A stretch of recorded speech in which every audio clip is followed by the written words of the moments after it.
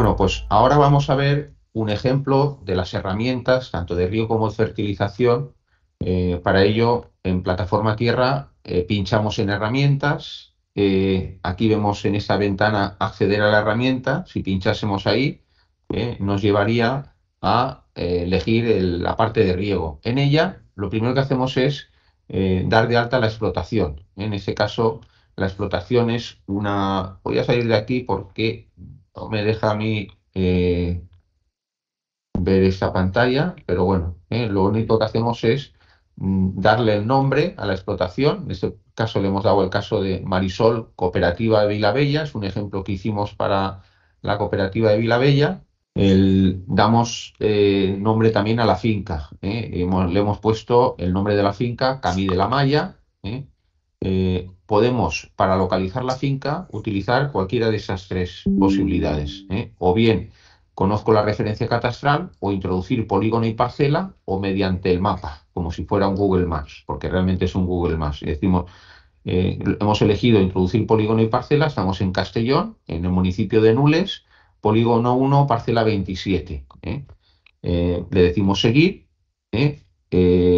le terminamos de definir el cultivo, nombre del cultivo, la variedad Marisol es una clementina temprana, seleccionamos el cultivo, entre las posibilidades le ponemos que es un mandarino, en el tipo en este caso no, no, eh, no da lugar, de clasificación del cultivo, en este caso como es una mandarina temprana, le ponemos como mandarina temprana, evidentemente es al aire libre, elegimos el tipo de riego, sería por goteo, la superficie es una parcela pequeña, es de 0,87 hectáreas, eh, la fecha de siembra estaría pensada para cultivos hortícolas, en este caso ponemos la edad del cultivo. Tiene 15 años y con ello, si le damos a finalizar, nos lleva ya a esta pantalla en la que vemos cómo eh, nos ha seleccionado la parcela, que es a partir de ella en la que vamos a, a manipular, y automáticamente nos hace, nos da ya la predicción del tiempo. Si quisiéramos ver más cosas, dándole a detalle, no lo vamos a hacer, ¿eh? pero ya vemos que la primera herramienta, que es predicción del tiempo, la tenemos ahí. Ahora nos da la posibilidad de crear o plan de riego o plan de fertilización o los dos. Vamos a hacer los dos y vamos a empezar por el plan de riego. Si le damos a crear plan, ¿eh? ya nos tiene registrada la explotación con el nombre de la finca, etcétera, y nos pregunta las características de ese plan de riego. Nos pide la distancia del marco de plantación, la distancia entre plantas, 4 metros, distancia entre filas 5 metros y medio, el diámetro de la copa, eh, un metro y medio en este caso, nos pide del agua de riego que estamos utilizando qué conductividad eléctrica tiene, 1,67 decisiones por metro. La eficiencia del riego es un tema que el agricultor debería de calcular pues, todos los años para ver en qué nivel se encuentra. Existen unas fórmulas que nos ayudan a, determinar la eficiencia de riego, es decir, eh, de qué manera funcionan los goteros, y si todos funcionan igual, ¿eh? o unos nos dan un caudal mayor que otros, ¿eh? lo normal es que la eficiencia sea buena, cuanto mejor eficiencia tengamos, menor agua vamos a tener que utilizar. Nos pregunta si utilizamos sistema de acolchado, en este caso no lo utilizamos, eh, nos pregunta si conocemos o el caudal del cultivo o si conocemos las características de la instalación. No conocemos el caudal y entonces nos pide el caudal real del emisor, que es un emisor de 3 litros y medio, Ojo, no, no, no nos tiene que preguntar el caudal, no nos está preguntando el caudal nominal, que es el que leemos en el gotero, sino que el agricultor debe de ir y conocer el caudal real del mismo, hacer algunas medidas. Y número de emisores por planta, en este caso son seis goteros por planta. Nos pregunta la textura del suelo, es un suelo franco, eh, lo traducimos, lo, escribimos ahí, y automáticamente ya nos saca el plan de riego. ¿eh? Previamente nos ha preguntado qué día de la semana queremos eh, empezar a trabajar o si no se lo decimos, pues a partir del día que hemos hecho el plan, eh, nos saca eh, el tiempo de riego que habría que dar diariamente. Los agricultores en este momento ya tienen experiencia y ya saben cuál es el tiempo de riego adecuado en su parcela. luego tienen sus programadores o la comunidad de regantes hace su programación de manera que eh, un agricultor sabe que eh, él, generalmente cuando riega da riegos de hora y media, ¿no? Y aquí nos lo da diariamente. Significa que, pues, eh, aquí, de la manera que nos está diciendo que hemos de regar, pues agruparíamos tres riegos para conseguir esa hora y media, de manera que cada tres días regamos uno, le regaríamos tres días a la semana aproximadamente, ¿no?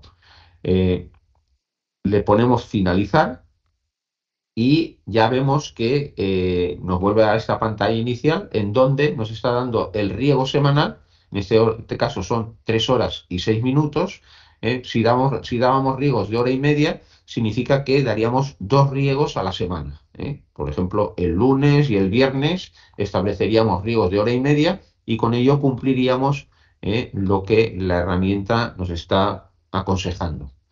De ahí nos iríamos al plan de fertilización. Y en el plan de fertilización hemos de hacer la identificación del cultivo en la parte de fertilización. ¿eh? La explotación ya la tenemos dada de alta. Y lo primero que nos pregunta es la estimación de cosecha.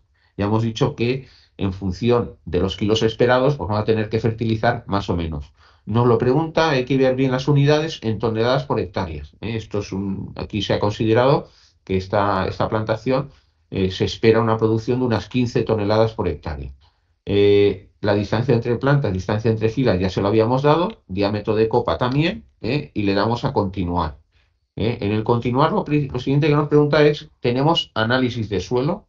Si lo tenemos, sí, ¿eh? Eh, y entonces lo que hacemos ahora es transcribir el resultado de dicha analítica. ¿eh? La textura del suelo en este caso es franca, el nivel de materia orgánica en porcentaje 2,87% y los elementos, como veis ahí, en porcentaje o en kilos por cada 100 kilos, 0,22 de nitrógeno, el nivel de fósforo es de 167 miligramos por kilo, de potasio 243 de calcio 5000, está justo en el límite de aceptación aquí, el magnesio, sulfatos y con eso, una vez transcrito la analítica aquí, lo que nos pide, le damos continuar. Lo siguiente que nos pregunta es si tenemos análisis de agua. Decimos que sí.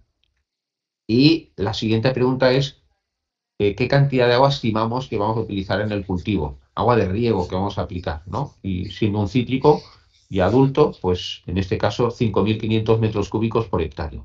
Lo mismo, ¿eh? nos pregunta niveles de nitratos en miligramos litro, eh, de sulfatos, fosfatos, normalmente cero, a no ser que sean aguas regeneradas, ¿eh? de amonio ocurre un poco lo mismo, potasio, calcio y magnesio. Le damos continuar y lo siguiente que nos pregunta es si utilizamos estiércol, si utilizamos alguna enmienda orgánica. Aquí le hemos dicho que no, ¿vale? en, el norte de España, con suelos ácidos, pues la gente suele utilizar alguna enmienda caliza. Si se utilizase, le diríamos que sí y pondríamos qué es lo que hacemos. En este caso también es que no. Con ello ya nos da el primer resultado. Y es esta tabla en la que nos balancea, ¿eh? nos indica ¿eh? el resultado ya en forma de unidades fertilizantes para cada uno de los macroelementos, nitrógeno, fósforo, potasio, magnesio, calcio y sulfatos. Estos serían las necesidades teóricas de ese cultivo ¿eh?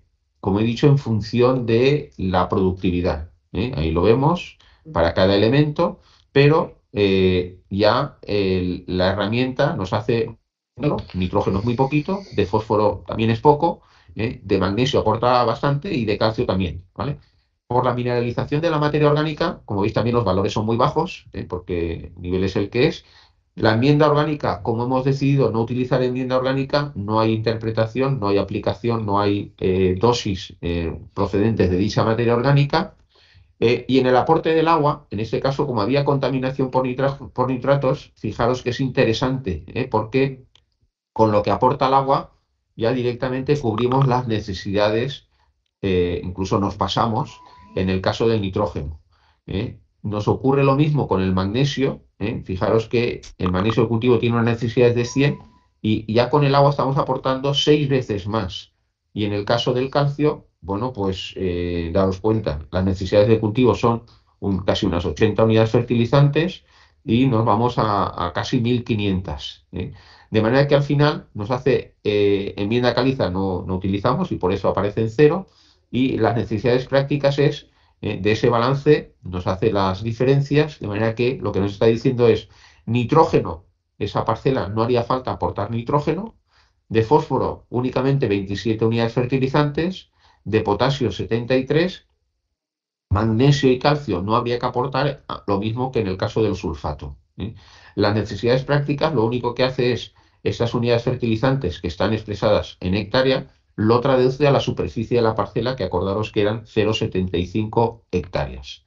Eh, bueno, con esto mm, nos tenemos un listado de fertilizantes eh, solubles en este caso, elegimos cuál vamos a utilizar, hemos elegido el ácido fosfórico y el sulfato potásico, como veis no vamos a recurrir a ningún abono cálcico, magnésico ni nitrogenado porque ya las necesidades quedan cubiertas y con eso nos, nos hace eh, un plan de fertilización con un reparto que podemos elegir que sea mensual, lo podemos cambiar, le podemos pedir que el reparto sea semanal. Aquí viene eh, ese reparto en forma de fertilizante, ácido fosfórico, sulfato potásico. Le podríamos pedir que ese reparto nos lo haga unidades fertilizantes, porque a lo mejor tengo, eh, yo prefiero elegir el fertilizante o tengo una planta de fertilización de abono líquido que si yo le digo el equilibrio, eh, pues me lo fabrica la carta. Y con eso ya, en esa pantalla, ya veis que tenemos nuestro plan de riego, nuestro plan de fertilización, en donde vemos las cantidades totales que vamos a tener que emplear en, ese cultivo.